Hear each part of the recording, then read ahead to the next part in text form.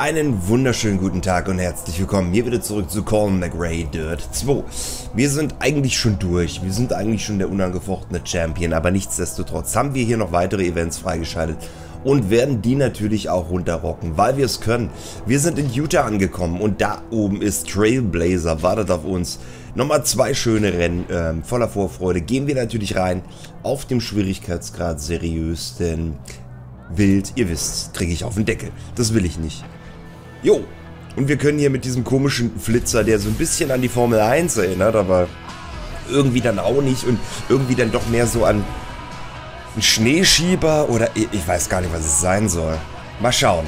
mal schauen. Oh, es dürfen aber alle mit dem Dallenbacher Special. Oder? Das könntest du dir doch aus dem Baumarkt gerade ausleihen.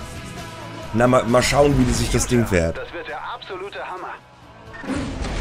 So, das ist der Dallenbacher, aber auch Kernblock mag den Dallenbacher.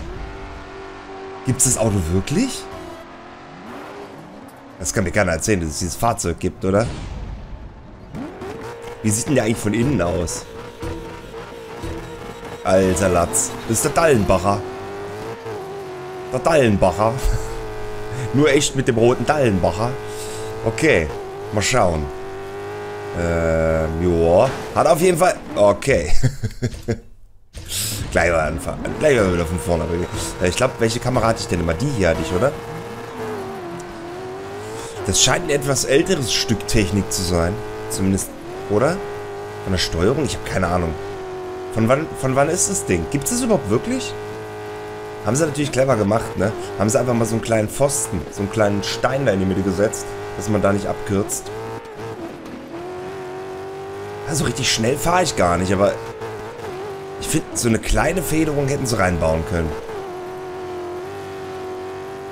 Ja, also so bei 190 ist langsam auch Schluss. So viel bremsen muss ich gar nicht. Das hat verdammt viel Grip. Man, man driftet kaum. Ich muss sagen, von der Beschleunigung, hier bremse ich dann doch. Seht ihr das? Es driftet wirklich kaum. Sobald ich nur ein bisschen bremse, kommt man echt gut rum. Ey, das fährt sich erstaunlich gut, das Ding. Hat zwar jetzt nicht ganz so viel Bums wie unser aufge tunter Subaru, aber hier durch den Canyon. Das ist natürlich immer gefährlich. Oh, da vorne ist er schon. Durch den Canyon ist immer gefährlich. Da hat sich wieder gedreht. Nee. Nee. Geirrt. Okay. Aber wenn er einmal driftet, dann ist er auch komplett raus aus der Nummer, ne? Nee, das Ding ist geil. Das ist so ein bisschen wie der Rasentrecker. Wie der Rasentrecker von meinem Opa. Da bin ich auch immer so schön durch den Garten gepäst.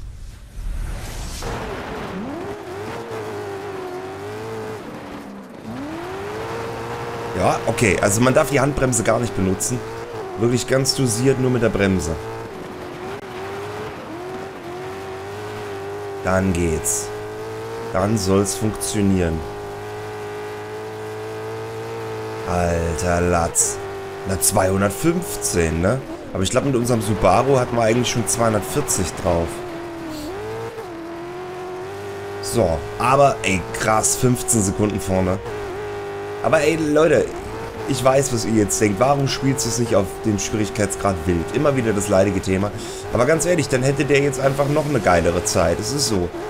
Du bist hier drei Minuten vorne, aber einen Schwierigkeitsgrad weiter vorne.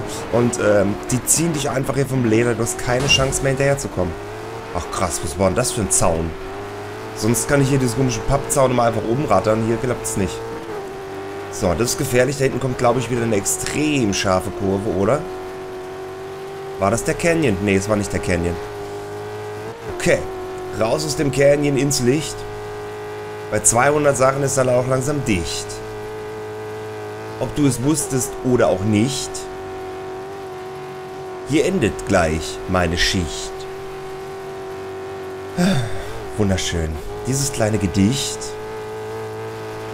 entspricht mir nicht.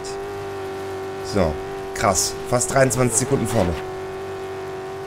Also 210 hier so leicht bergauf, dann ist wirklich Schluss. Mit dem Rasentrecker. Mit dem Rasentrecker über den Acker. Und dann ins Ziel. Und noch viel weiter. Ich glaube, ich habe alle überholt, oder? Habe ich alle überholt? Ich habe keine Ahnung, warum mir da gerade hinten ein Teil abfällt. Aber da fällt einfach mal was ab. Das gehört auch immer dazu. So. Und ich vermute jetzt mal den ganzen Weg wieder zurück, oder? Wir sind ja auch hingefahren. Und da kommt jetzt natürlich keiner vorbei und fährt das Fahrzeug wieder zurück. Das muss man schon selber fahren. Ah. Aber es ist ganz geil. Also ich hätte jetzt wirklich gedacht, die letzten Events, da muss man einfach nochmal dieselben Events nochmal fahren. Ich meine, muss man ja auch. Muss man auch. Aber man kann hier eben solche alten Karten nochmal freischalten. Das ist eigentlich ganz witzig. Also ich vermute mal, dass das Ding alt ist, oder? Das ist doch jetzt, das ist doch nicht neu, oder? Das ist doch irgendwie, würde das heutzutage entwickelt werden, wäre das doch nicht so eckig. Das wäre doch irgendwie rund. Heutzutage ist doch alles rund. Sieht immer aus wie so ein rund gelutschtes Bonbon. So. Ja, wie ich es angenommen habe, den ganzen Weg wieder zurück. Nochmal aufgetankt. Das Ding hat wahrscheinlich einen Spritverbrauch von 20 Litern. Wenn es reicht wiegt nix. Also für den wochenendlichen Ausflug äh, ist es sehr ungeeignet. Er ist nicht so richtig schnell, ne? Oder, oder kommt er... Ich meine, 230 ist jetzt auch nicht wenig. Es kommt einem irgendwie nicht so schnell vor. Aber es er lenkt sich erstaunlich gut. So, drei Sekunden vorne, ich habe nur Gas gegeben. Nur Vollgas. Nichts anderes. Vollstoff und wieder in den Canyon rein. So, das ist auf jeden Fall nicht der Canyon, den ich meinte, oder?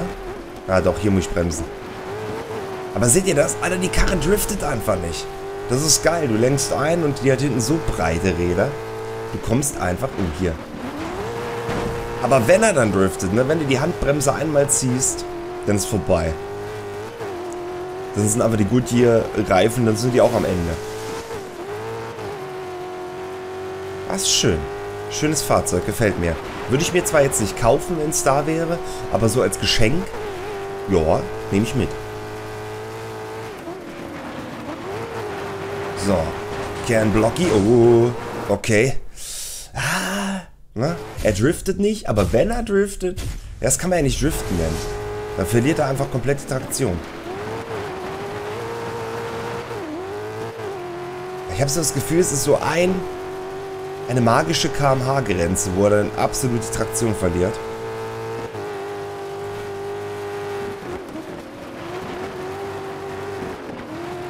So, mir Jung. Da haben wir ihn schon. Zack.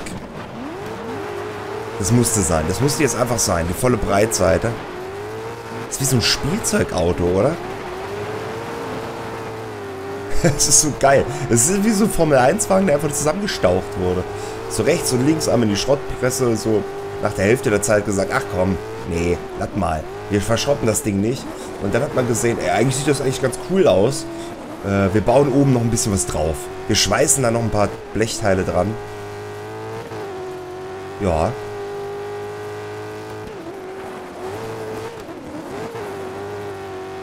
So, und damit sind wir auch im letzten Drittel. Kernblock ist ganze 8,5 Sekunden hinter uns. Ja, ich weiß. Er hat auch zu kämpfen mit diesem Fahrzeug. Er hat einfach auch nicht die Coolness. So.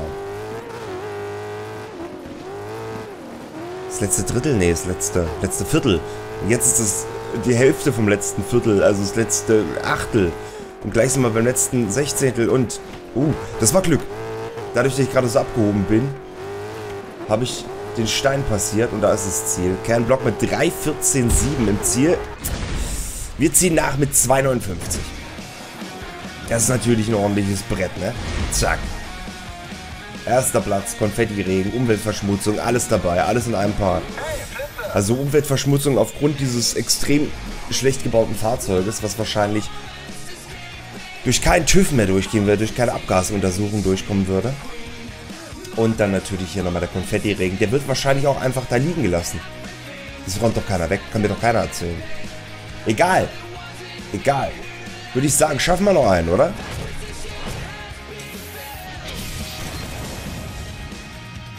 Level 54, so muss das sein.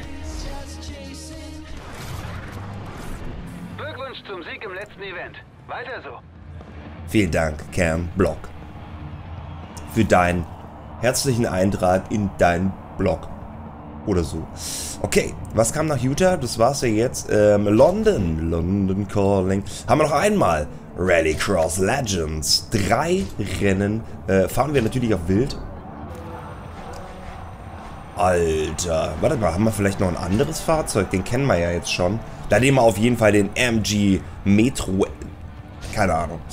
Den nehmen wir. Gekauft wie gesehen. Sehr geil. Auch wenn wir im letzten Part, glaube ich, gemerkt haben, dass alle, die mit diesem Fahrzeug gefahren sind, letzte wurden, ne? Aber gut. Das liegt an denen. Alle, die mit dem Ford gefahren sind, waren auf dem vorderen Rang. Aber okay. Wir probieren's. Meine Güte, ich habe irgendwas... Der Kaffee löst einmal alles. Oder ich habe ihn hochgewirkt und er kommt gerade wieder aus der Nase zurück. Ich weiß es nicht. Geht das? Bestimmt. Das sieht irgendwie auch aus wie so ein Spielzeugauto. Also hätte ich das Auto damals mit sechs Jahren gesehen, hätte ich gesagt, Papa, das will ich haben. Und er hätte gesagt, du hast es wohl nicht alle, du kriegst den Ford. Du kriegst den Ford. Und ich gesagt, nee, auch nicht den Ford. Und insgesamt ist man dann rückblickend natürlich sehr froh, dass man dann doch den Ford gekriegt hat. Denn es war einfach die weisere Wahl eines älteren Mannes, der einfach Ahnung hat vom Leben.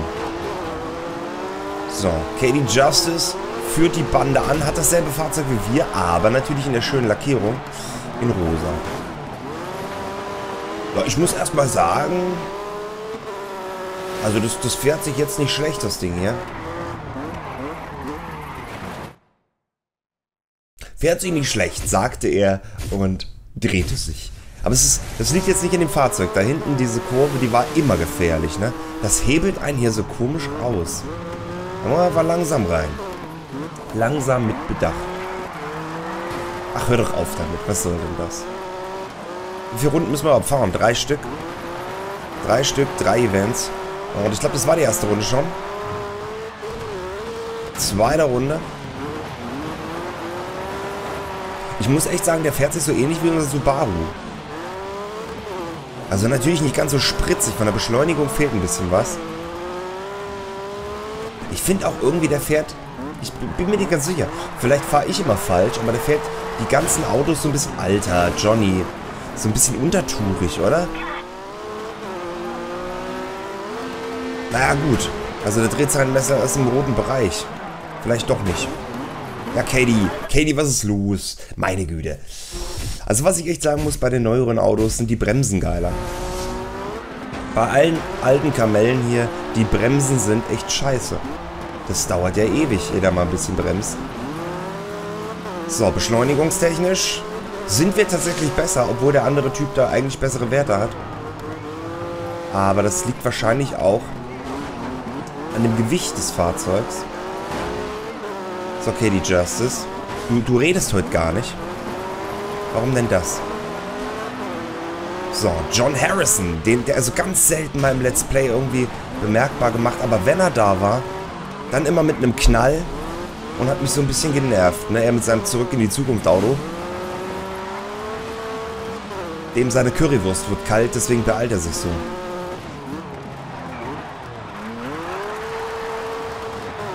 Alter, der fährt aber auch gut. Ja, muss man sagen, der beherrscht sein Fahrzeug. Jetzt könnte unsere Chance sein. Yo. Every time the same fucking Fehler. Scheiße, ich hab nichts mehr. Ich habe nichts mehr. Okay, dann müssen wir ganz schnell Wagen zurücksetzen. Ganz schön still heute. Jo, das war natürlich jetzt. Wir spielen es auf Wild, von Firde Franz. Auf Wild, das heißt, du hast nur zwei Wiederholungen. Ärgerlich. Das habe ich gerade nicht bedacht. Mein taktisches Vermögen. Ich habe gestern, Leute, ich habe gestern mit meinem neuen Let's Play angefangen.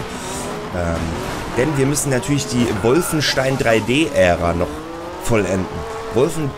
Mal sehen, ob ich es jetzt zusammenkriege. Ich habe es im Let's Play, habe ich es falsch gesagt und ich habe es nicht hingekriegt. Also Wolfenstein 3D, Spear of Destiny, ey. Äh, Rückkehr in Action. Ne, Rückkehr in Gefahr, seht ihr wieder falsch. Mission Pack 3. So. Da bin ich gerade. Das ist das letzte Mission Pack. Und danach kommt dann Return to Castle Wolfenstein. Also das ist aus dem Jahre 2000. Also das letzte ursprüngliche. Und ja, mir wurde ein bisschen schwindlig, da die Grafik echt wow.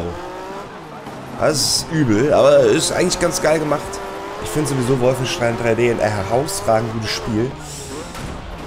Und da jetzt noch ein paar neuere Level, äh, ist sowieso geil. John Harrison hat's gedreht. Der hat einfach nur meinem Gelaber zugehört. Und ist in Narkolepsie gefallen. So, Katie Justice führt das Feld hier an. Und das nicht zu knapp. So, die kriegen wir aber. Die kriegen wir, keine Sorge. Und wenn wir sie nicht kriegen, kriegen wir sie nächstes Rennen. Das sind ja drei. Oh, komm. In der Kurve darf ich mich nicht übernehmen. Da denkt man immer, ey, jetzt richtig schön stoffen, du kommst wieder ran, aber naja, ist falsch. Hier darf man auch nicht zu viel Gas geben. Machen die auch nicht.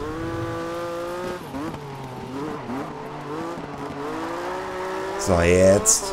Jetzt ist unser Zeitpunkt gekommen. So, Katie. What's up? What's up? So.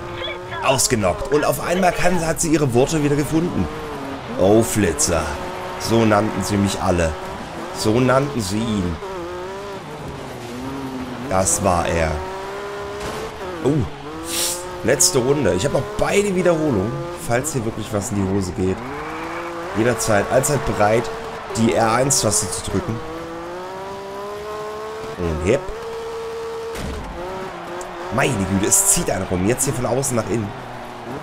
Reindriften, Vollspeed geben, reindriften. Und Kent Kaufman hat sich hier auf Position 2 vorgeschoben. Katie Justice musste einen Platz äh, lassen. Wahrscheinlich aufgrund unseres kleinen Disses. Diseases.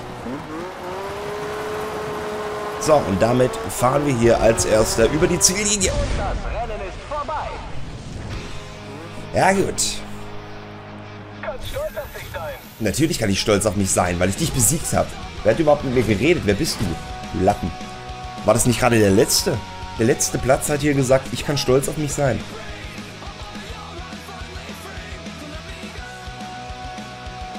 So, und damit geht es in das zweite Rennen. Rein da. London bei Nacht. London bei Nacht. Wunderschön. Was aber auch sehr bezeichnend ist, jetzt haben alle, die das Fahrzeug haben, was ich habe, sind auf den vorderen Rängen. Vielleicht bin ich so ein bisschen den ihr, ihr Sternbild, ne? Die schauen so zu mir auf und sagen alle, Alter, ich habe genau dasselbe Fahrzeug, wie es er hat. Das heißt, wir können es alle schaffen.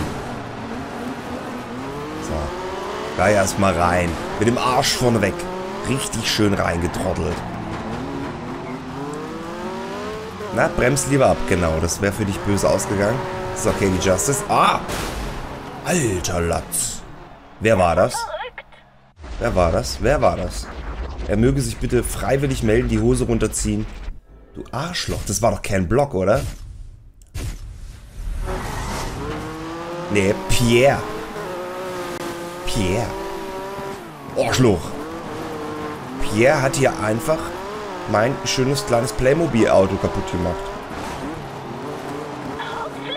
Ja, ich konzentriere mich. Ich bin wieder da. So, John Harrison. Keine Ahnung, ich habe leider nicht aufgepasst, welchen Platz du... Welchen Platz du... Ja, ich dräng dich ab. Ist doch klar. Oh, Johnny.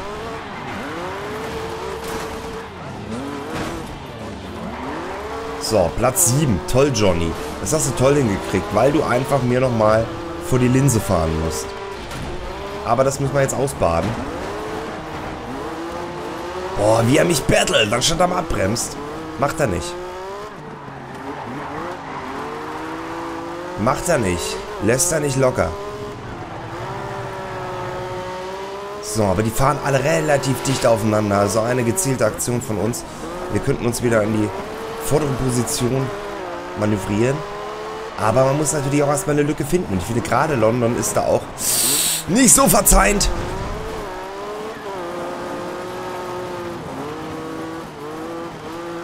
Gott.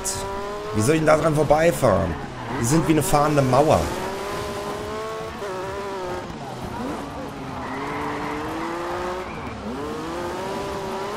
Äh, scheiße. Letzte Runde. Jetzt. Nee, ist es nicht. Nee, hat das irgendwer behauptet? Du Lappen. Scheiße, ey. Ich muss auf jeden Fall noch ein paar Plätze gut machen. Es gibt viel zu wenig Punkte. Und hier, ey, die kriegen die Kurve immer so geil. Uh, ganz knapp vorbeigedriftet. War leider zeittechnisch natürlich ein absoluter Flop. Alter, was macht die Karre? Was macht die Karre? Wenn man hier wirklich in der Bredouille ist, kommst du mit der Karre nicht hinterher. So, beide Wiederholungen verbraten. Jetzt müssen wir irgendwie mal langsam ran an den Speck. Jetzt an der Innenkurve, dann haben wir sie. Katie Justice führt die Rappelbande an. Macht sie gut. So, Pierre. Wieso ist Pierre eigentlich vorne? Geht ja gar nicht. Okay, zweiter Platz, aber ganz ehrlich, mehr war da jetzt auch nicht rauszuholen, oder? Ich wollte den Crash am Anfang lassen, ganz ehrlich. Das, das war John Harrison. Dem gehört einfach manchmal richtig schön eine Backpfeife mitgegeben. Okay, letztes Rennen. Ich glaube, wir sind auf dem Platz 2. Ersten Platz. Ersten Platz. Glaube ich. Und Katie Justice müsste hinter uns sein. Sie, im ersten Rennen war sie auf Platz 3. Seht ihr das auch so? So kurz im Kopf überschlagen. Im Kopf überschlagen. Das tun sich auch immer meine Sätze, wenn ich gerade irgendwas reden will. Und dann auf einmal rede ich das dritte Wort äh, vom zweiten Wort und dann kommt Kauderwelsch bei raus. Kenny Just ist auf Platz 2 mit zwei Punkten hinter uns. Das heißt, wir haben einen kleinen Puffer. Um genau zu sagen, ein Platz haben wir jetzt Puffer. So, John, John Harrison lässt alle aufhorchen, das stimmt.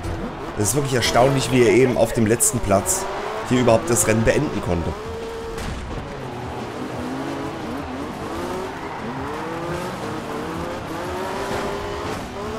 So, jawohl.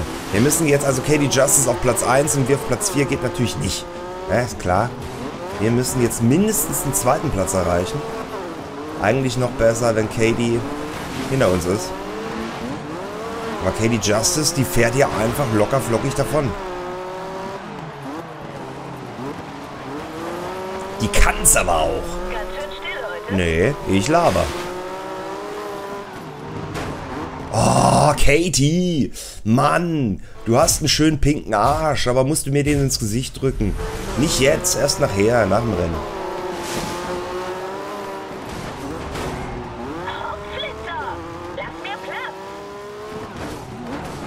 Die wird jetzt gefistet hier. Mit den Fist auf den Arsch. So, Katie. That's it. Damit ist sie weit abgeschlagen.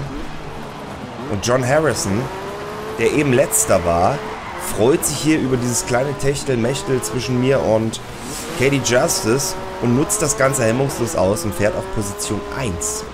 Fühlt sich natürlich wie der größte King. Aber, ähm, ne? Das Ganze war natürlich nicht von ihm ausgehend.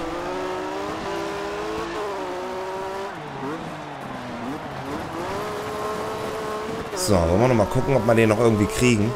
Der fährt natürlich gut. Hier gefährlich durchrollen, durchrollen. Alter!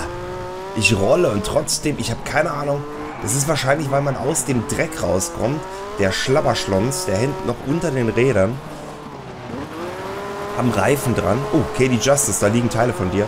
Ähm, und dann kommst du hier auf diese glatte Unterfläche. Den glatten Unterboden. Und da hat man einfach keinen Grip. Das Gummi hat keinen Kontakt zum Boden, sondern da ist der Schlamm dazwischen. So, ich habe das genauestens analysiert und das wird es höchstwahrscheinlich sein. Was natürlich auch ganz geil wäre, wenn man im nächsten Teil spezielle Reifen auswählen könnte, oder? Also nicht nur die Fahrzeuge, dass es so ein bisschen Simulations... noch simulationslastiger wäre. Das wäre cool. Oh, Leberwurst, die ist schön. Da ist einfach meine Knautschzone viel zu gering vorne. Ich hätte schwören können, dass ich ihn jetzt schön hinten eine mitgebe. Johnny, da hast du Glück gehabt. Da hast du echt gerade Glück gehabt. Na gut. Alter Latz. Julius Silva wollte uns hier aus dem Rennen rausnehmen. Oh, meine Knautschzone ist weg. Okay, John Harrison, die 10 Punkte mögen dir gehören, aber der Gesamtsieg gehört nur einem. Und zwar von Furle Franz, Katie Justice mit 18 Punkten hier noch auf Platz 2 und Julius Silva, die uns eben, oder der, uns aus dem Rennen nehmen wollte, auf Platz 3. John Harrison kriegt nochmal richtig viele Punkte mit 10 Stück ähm, und kann sich auf Platz 5 vorsetzen. Sehr schön, sehr schönes Event, hat mir Spaß gemacht. Ich würde mal sagen, da gucken wir gleich nochmal ins nächste Event rein, was uns da noch so Schönes erwartet. Hey, Flitzer. Ein tolles Rennen. Dein Sieg freut mich. Lüger. Du alter Lüger. Das stimmt gar nicht. Das, das würde niemanden freuen. Du kannst ruhig ehrlich sein und sagen, du Arschloch, du hast mir den Sieg geraubt. Und das stimmt ja auch, das habe ich. So, das haben wir abgeschlossen. Als nächstes geht es hier nach Kroatien. Dort folgt das oh, Raid und Rallye.